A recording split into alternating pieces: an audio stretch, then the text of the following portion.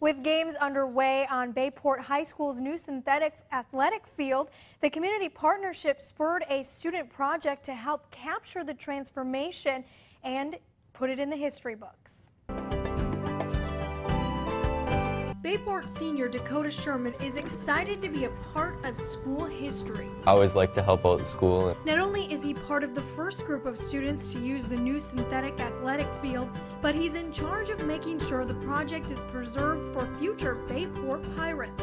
I started when they tore off all the sod on the field and I put a camera out every morning and then took it down every night. The camera took one picture every 10 seconds for two weeks while the field was constructed. At the end I ended up with 25,000 pictures on my computer. Step-by-step -step look at the making of the field. Wrote a program where it took the 60 frames, 60 pictures per second, and compiled it all into a movie. Using the band's practice on the field as background music, Sherman created a mini time capsule of the transformation. Howard Suamico Superintendent Damian LaCroix says the new field will hopefully continue to offer students unique academic and like it did for Sherman. And our mission is we will work together with families and community to make sure our students have the knowledge and skills to succeed in a changing world.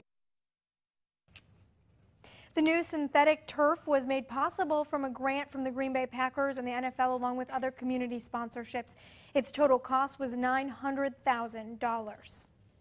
Some area students